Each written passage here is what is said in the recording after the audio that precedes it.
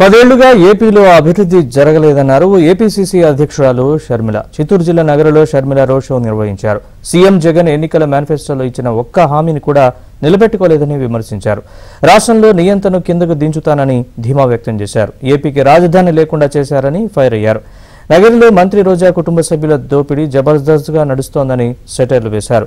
ఎన్నికలు సమీపిస్తున్న వేళ ప్రజలందరూ అప్రమత్తంగా ఉండాలని షర్మిల సూచించారు. ఎలా ఉంది మన రాష్ట్రం?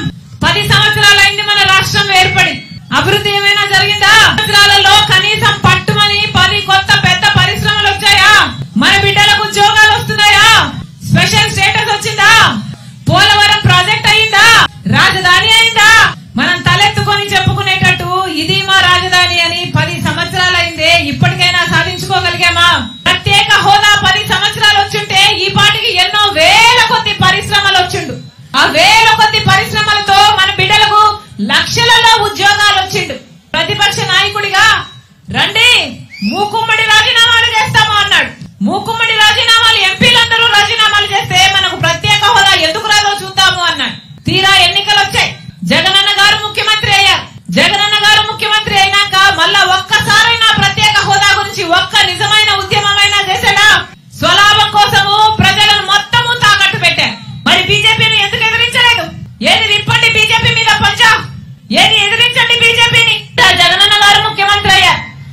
ఒకటి సరిపోలే. మూడు రాజధానీలు ఉన్నారు మనము తలెత్తుకొని ఈ రోజు ఇదిగో మా రాజధాని అని చెప్పుకునేటట్టు ఒక్క ప్రాంతమైనా ఉందా? మనకు బీజేపీ పార్టీ ఈ పది సంవత్సరాలలో ఒక్క మేలైనా చేసిందా? ఈ రోజు ఇద్దరికి బీజేపీ కావాలట.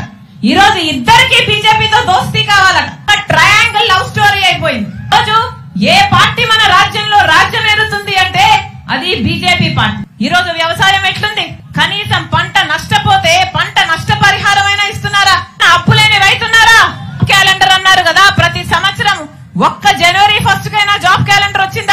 రోజు ముప్పై వేల ఉద్యోగాలతో మెగా డిఎస్సి వేయాల్సిన వాళ్ళు దగా డిఎస్సి ఆరు వేలతో దగా డిఎస్సి వేశారు. ఆ ఉద్యోగాల నోటిఫికేషన్లు వచ్చాయి.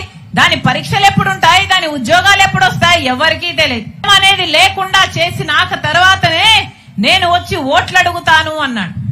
ఉందా? ఇప్పుడు మద్యం ఉందా? మద్యపాన నిషేధం అయిపోయిందా? సర్కారే మద్యం అమ్ముతుంది. భూమ్ భూమ్ అంట.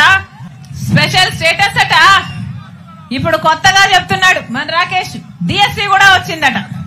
ఎక్కడయ్యా వాగ్దానాలు ఎక్కడ నిలబెట్టుకున్నారు అంటే మందు షాప్లో నిలబెట్టుకున్నారు. ఇదేనా రాజశేఖర రెడ్డి గారి ఆశయాలను నిలబెట్టడం అంటే? ఈ నగరిలోనైనా ఒక్క మాట అయినా నిలబెట్టుకున్నారా? ఎవరు మీ ఎమ్మెల్యే? ఇక్కడ అసలు మొత్తం జబర్దస్త్ దోపిడీ అట. మాకు ఒకరు కాదమ్మా నలుగురు మంత్రులు అన్నారు. నలుగురు ఏంటన్నా అంటే ఎమ్మెల్యే గారు మంత్రి అట భర్త మంత్రి అట వాళ్ళ అన్నలిద్దరు కూడా మంత్రులేడట.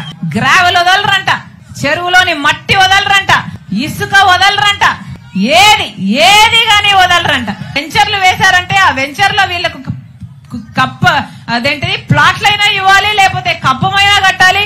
వీళ్ళ కన్ను పడింది అంటే ఆ ప్లాట్ ప్లాట్గా మిగలదమ్మా వాళ్ళ స్వం స్వాహ చేసేస్తారు అన్నారు మీరు తెలుగుదేశం పార్టీలో ఐరన్ లెగ్గు అన్న పేరుతో మీరు పిలువబడినప్పుడు రాజశేఖర్ రెడ్డి గారి గురించి మీరు ఎంతగా దూషణలు చేశారో ప్రజలు ఇంకా గుర్తే ఉన్నాయి.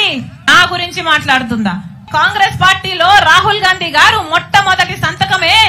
నేను ప్రత్యేక హోదా ఫైల్ మీద చేస్తాను. ప్రధానమంత్రి అయినాక అని ఆయన మాట చెప్తే తర్వాత చేరాను నేను కాంగ్రెస్ పార్టీలో. విలీనం చేశాం కాబట్టి కాంగ్రెస్ పార్టీ ఎంత కాలం బతికుంటుందో వైఎస్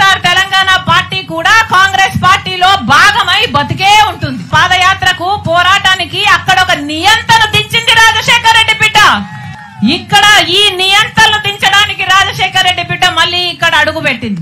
నేను ప్రజల కోసం వచ్చా. ఆంధ్ర రాష్ట్ర ప్రజల హక్కుల కోసం ఇక్కడ అడుగు పెట్టా. ఎన్నికలు వచ్చాయి కాబట్టి మీతో అవసరం ఉంది కాబట్టి మీ ఓట్లు కావాలి కాబట్టి ఈ రోజు సిద్ధం. సిద్ధం అని బయలుదేరారు. దేనికి సిద్ధం? మళ్ళీ ఎనిమిది లక్షల కోట్లు అప్పు చేయడానికి సిద్ధమా? మళ్ళీ దగా చేయడానికి సిద్ధమా?